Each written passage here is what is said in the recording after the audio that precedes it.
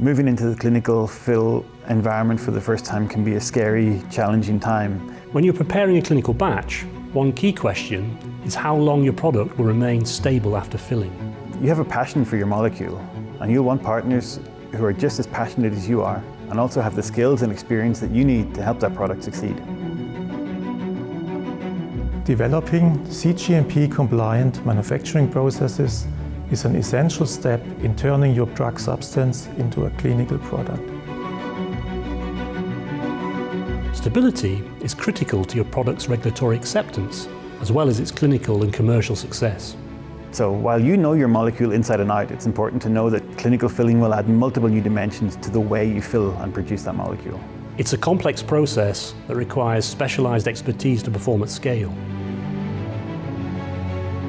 We can certainly make that, that journey a lot less painful and maybe even easier.